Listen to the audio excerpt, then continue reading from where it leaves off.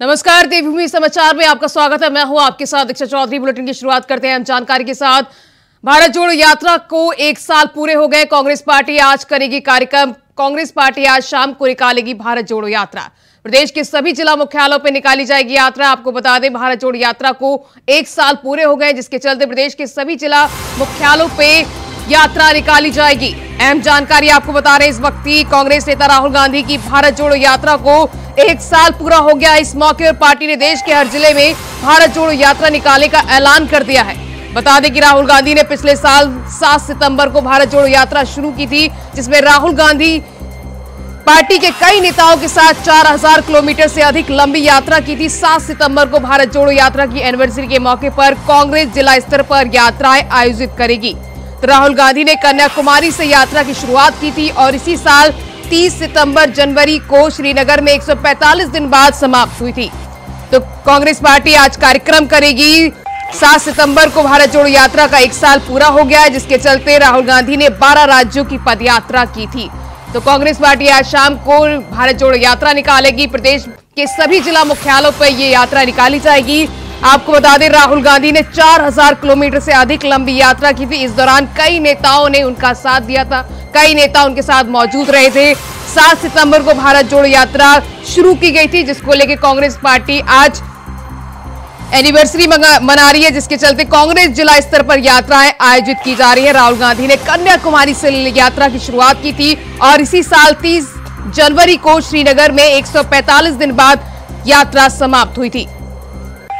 इसके साथ ही आपको बता दें, राहुल गांधी ने 12 राज्यों की पदयात्रा की थी तो भारत जोड़ो यात्रा को एक साल पूरा हो गया, जिसको लेके कांग्रेस पार्टी आज एनिवर्सरी में आ रही है, जिसके चलते राहुल गांधी ने 4000 किलोमीटर से अधिक लंबी यात्रा की थी।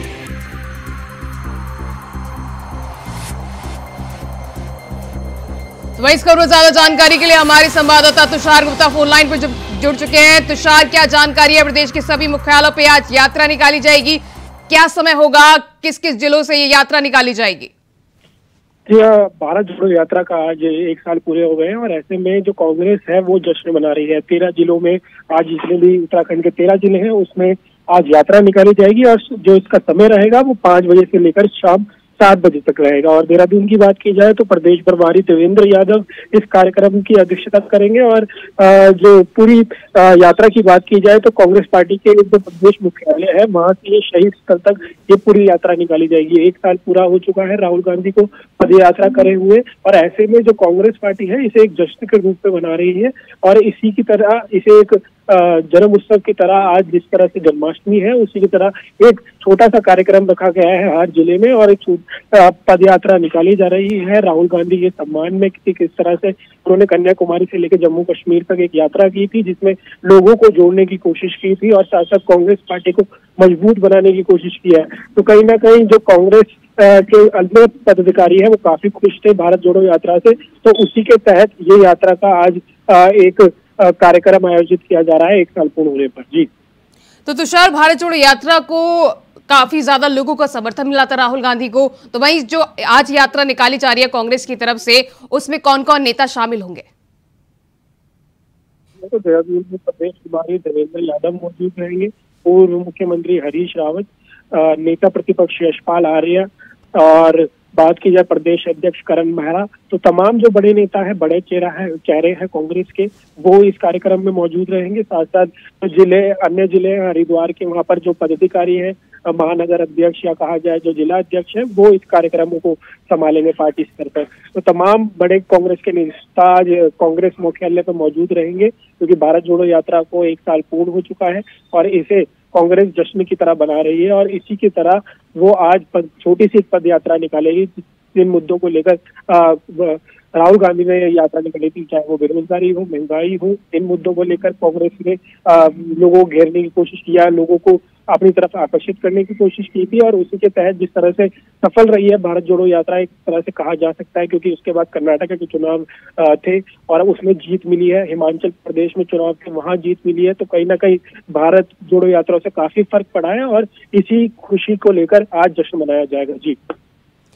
तो तुषार, भारत जोड़ो यात्रा को एक साल पूरा हो चुका है, जिसको लेकर कांग्रेस पार्टी आज कार्यक्रम कर रही है। आप बने रहिए, आपसे अगली खबर पे आपसे जानकारी लेते हैं। तो आपको बता दें, भारत जोड़ो यात्रा को एक साल पूरा हो चुका है। बढ़ते अगली खबर की ओर, देहरादून के विकास नगर में यमुना घाट शिलान्यास कार्यक्रम शुरू हो गया है। सीएम पुष्कर सिंह धामी यमुना घाट का शिलान्यास किया है। विकास नगर के हरिपुर क्षेत्र में यमुना किनारे बन रहे हैं घाट। पौराणिक समय में इसी क्षेत्र में होती थी यमुना की पूजा। तो नमामि गंगे योजना के तहत किया जाएगा इसका निर्माण। आपको बता दें एमडीडीए के द्वारा किया जाएगा घाटों का निर्माण। पहले फ़ेज़ में सात करोड़ पाँच लाख लागत से बनेंगे घाट। दूसरे फ़ेज़ में सात करोड़ पाँच लाख की लागत से बनेंगे घाट।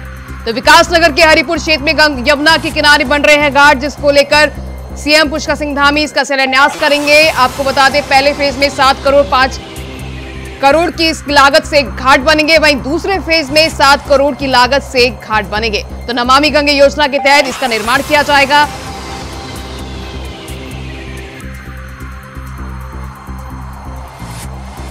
तो वही इस खबर पर हमारे साथ संवाददाता तुषार गुप्ता जुड़ चुके हैं। तुषार, क्या है जानकारी? पहले फ़ेज़ में सात करोड़ की लागत से ये घाट बनेंगे। सीएम पुष्कर सिंह धामी इसका शिलान्यास करेंगे। क्या जानकारी है आपके पास?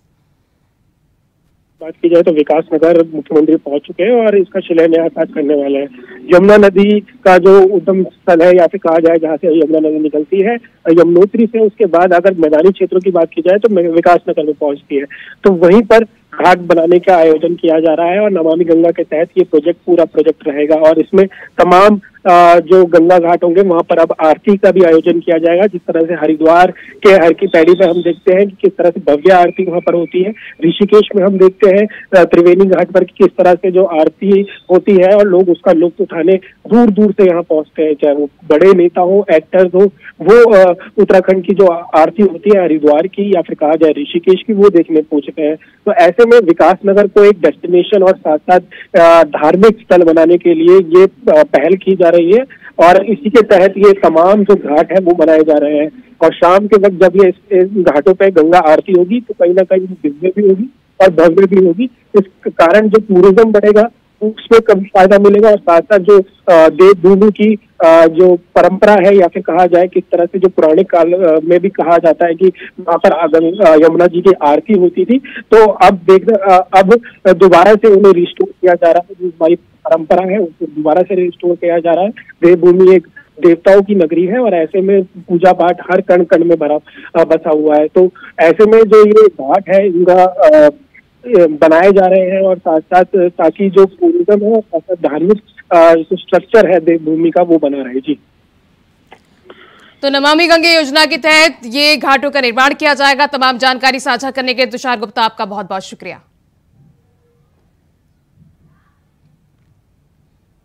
हरिद्वार ज़िले में अवैध खनन करते हुए किया जा रहा अवैध भंडार की शिकायतों पर जिलाधिकारी धीरज सिंह गरुयार के निर्देश में बड़ी कार्रवाई की गई है। जिलाधिकारी ने एसडीएम और खनन अधिकारी को निर्देशित किया कि सभी स्टोन क्रशर के साथ साथ गली मोहल्ले हाईवे पर भी किए जा रहे हैं, जिससे टीम बनाकर कार्रवाई करके अवैध भंडारण की जाँच कर रिपोर्ट बनाई जाए। जिसके बाद एसडीएम के नेतृत्व में प्रशासन की टीम ने शेड्यूल हाईवे और अन्य क्षेत्रों में लगभग एक दर्जन अवैध भंडारण पर निरीक्षण कर कार्रवाई की है।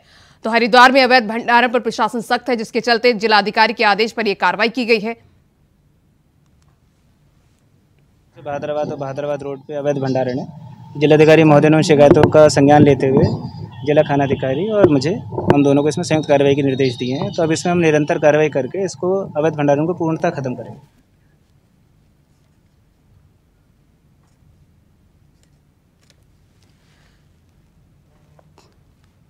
तो अवैध भंडारण पर प्रशासन सख्त है, जिसके चलते ये कार्रवाई की गई है। हरिद्वार में जिला अधिकारी के आदेश पर ये कार्रवाई की गई है। आपको बता दें, हरिद्वार में एक दर्जन से अधिक भंडारण पर निरीक्षण कर कार्रवाई की गई है। वही स्टेनुल हाईवे और अन्य क्षेत्रों में लगातार प्रशासन सख्त है। लगातार प्रशासन की तरफ़ से ये कार्रवाई की जा रही है। अवैध भंडारण को लेकर प्रशासन सजग है। वही रिपोर्ट बनाई जाए, इसको लेकर एसडीएम की तरफ़ से ये नेतृत्व में प्रशासन की टीम शेड्यूल की गई है। वहीं आपको बता दें, मोहल्ला अधिकारी के निर्देशन पर ये सभी स्टोन क्रेशर के साथ साथ गली मोहल्ले हाईवे पर भी किए जा रहे हैं, जिससे टीम बनाकर कार्रवाई करके अवैध भंडारण की जाँच रिपोर्ट बनाई जाए। जिसके बाद एसडीएम के नेतृत्व में प्रशासन की टीम ने सिडुक हाईवे और अन्य क्षेत्रों में लगभग एक दर्जन अवैध भंडारण पर निरीक्षण कर ये कार्रवाई की है। तो अवैध भंडारण को लेकर लगातार उत्तराखंड प्रशासन सजग है, जिसके चलते ये कार्रवाई की जा रही है। तो हरिद्वार में अवैध भंडारण प्रशासन को लेकर ये अवैध कार्रवाई की है। जिलाधिकारी की तरफ़ से नेतृत्व में ये कार्रवाई की गई है।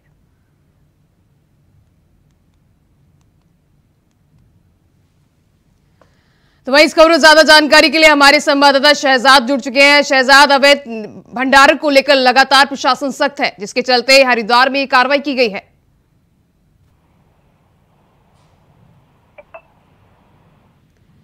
शहजाद आपको मेरी आवाज़ आ पा रही है?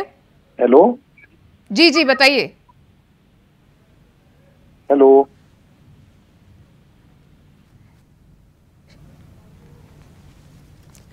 तो दोबारा संपर्क करने की कोशिश करेंगे। संवाददाता से आपको बता दें, हरिद्वार में अवैध भंडारण को लेकर लगातार प्रशासन सख्त है, जिसके चलते जिलाधिकारी के आदेश पर यह कार्रवाई की गई है। जिलाधिकारी ने एसडीएम और खनन अधिकारी के निर्देशित किया है कि सभी स्टोन क्रेशर के साथ साथ गली मोहल्ले हाईवे पर भी किए जा रहे हैं, जिसके चलते ये कार्रवाई की जा रही है। आपको बता दें, टीम बनाकर ये कार्रवाई करने का निर्देश दिए गए हैं। अवैध भंडारण की जाँच रिपोर्ट सौंपने को कहा गया है। तो वही हमारे संवाददाता शहजाद जुड़ चुके हैं। शहजाद, अभी भंडारण को लेकर प्रशासन लगातार सख्त दिखाई दे रहा है।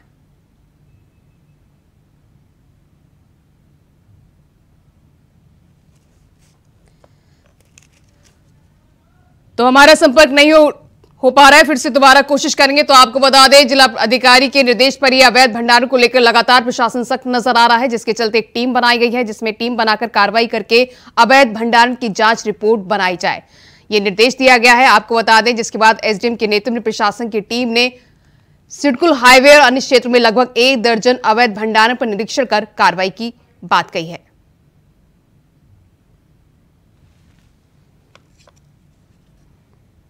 तो फ़िलहाल रुकते हैं छोटे से ब्रेक के लिए, फ़ौरन हाजिर होंगे। ब्रेक के बाद बढ़ते खबरों में आगे। उत्तराखंड में विधानसभा मानसून सत्र शुरू हो गया जिसमें 8 सितंबर को अनुपूरक बजट पारित होगा। बता दें, विधानसभा अध्यक्षता रितु खंडूरी ने बताया कि कार्यक्रम मंत्रा की बैठक में 8 सितंबर तक सत्र चलना तय हुआ है। तो वहीं सदन में पेश हुए ग्यारह करोड़ रुपए के पूरक बजट को आज सितंबर को सदन की कार्यवाही के दौरान पारित भी किया जाएगा। साथ ही विधायकों को पारित करने के दिशा निर्देश भी दिए जाएँगे। आपको बता दें आठ सितंबर को पारित होगा अनुपूरक बजट। सदन में पेश हुए हैं ग्यारह करोड़ का बजट पेश किया गया है।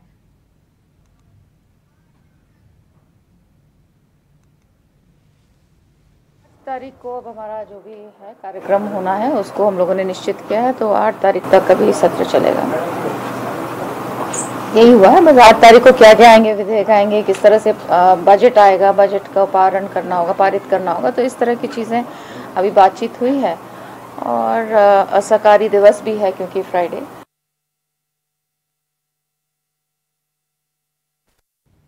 तो सीधे लिए चलते हैं आपको विकास नगर जहाँ पर सीएम पुष्कर सिंह धामी मौजूद हैं। कृष्णधाम कार्यक्रम के यमुना कृष्णधाम का शिलान्यास कार्यक्रम में मौजूद है। कार्यक्रम में आपको बता दें, सीधे लिए चलते हैं विकास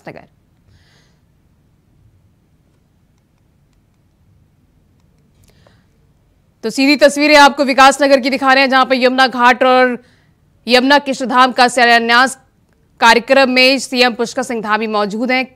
आपको बता दें कि यमुना घाट और यमुना कृष्णधाम का शिलान्यास कार्यक्रम है। इस दौरान सीएम पुष्कर सिंह धामी कार्यक्रम में मौजूद हैं।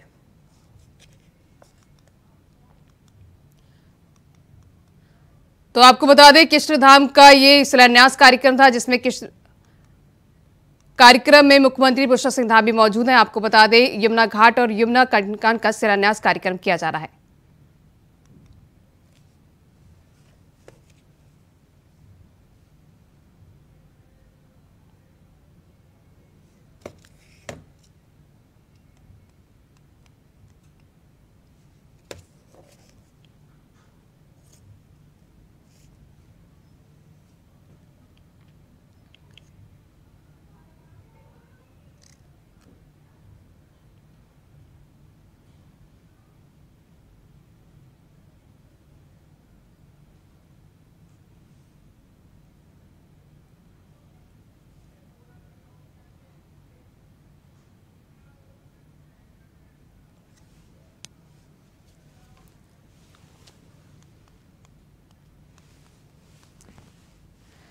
तो सीधे तस्वीरें आपको विकास नगर की दिखा रहे हैं, जमुना। जहाँ पर यमुना घाट कार्यक्रम में मुख्यमंत्री पुष्कर सिंह धामी मौजूद हैं। इसके साथ ही कई अन्य मंत्री भी यहाँ पे मौजूद है। यमुना घाट और यमुना कृष्णधाम का घाटों का शिलान्यास किया जा रहा है। इस दौरान तस्वीरों में आप देख सकते हैं, सीएम पुष्कर सिंह धामी आरती करते हुए नज़र आ रहे हैं। यमुना घाट और जमुना कृष्णधाम का शिलान्यास कार्यक्रम है। इस कार्यक्रम में सीएम पुष्कर सिंह धामी समेत कई नेता गण भी मौजूद हैं। विकास नगर से सीधी तस्वीरें आपके साथ साझा कर रहे हैं।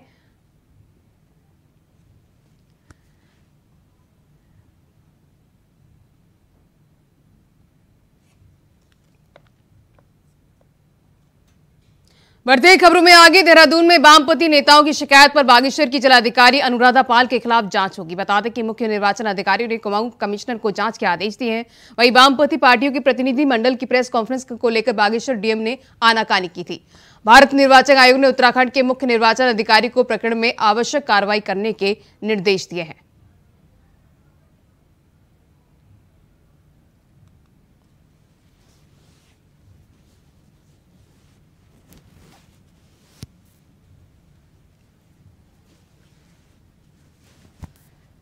तो कुमाऊं कमिश्नर को जाँच के आदेश दिए गए हैं। आपको बता दें, अनुराधा पाल के खिलाफ ये जाँच के आदेश दिए गए हैं।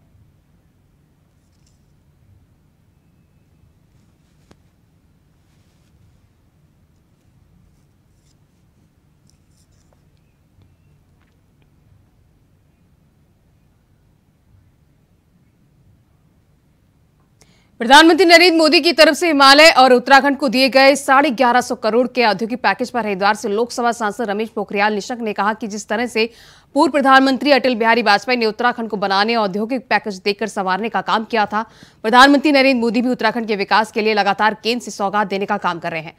सांसद ने कहा कि इस पैकेज के मिलने के बाद उत्तराखंड में विकास की रफ्तार तेज होगी और राज्य में जनता को विकास की योजनाओं का लाभ मिलेगा।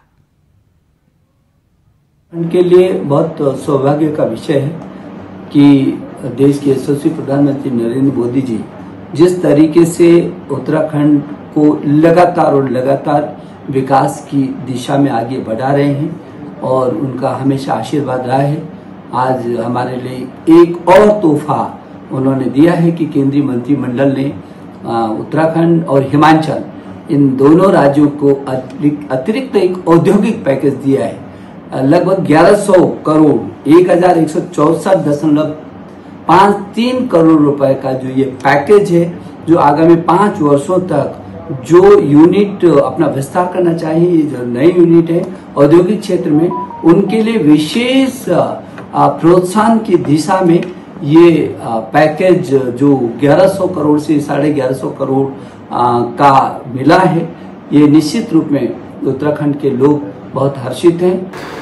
इसी जाँच को आगे बढ़ाते आज हमारी टीम ने जो विजिलेंस की टीम थी उसके द्वारा। राज्य कर विभाग के कर्मचारी दीपक को रंगे हाथों गिरफ़्तार किया गया तीन हज़ार वर्षों के साथ। ही और साथ ही इनके जो सम्मिलित अधिकारी हैं उनके संदर्भ में भी जाँच कर रहे हैं उनके खिलाफ भी साक्ष्य पाए। तो फ़िलहाल देवभूमि समाचार में बस इतना ही खबरें लगातार जारी हैं। नमस्कार।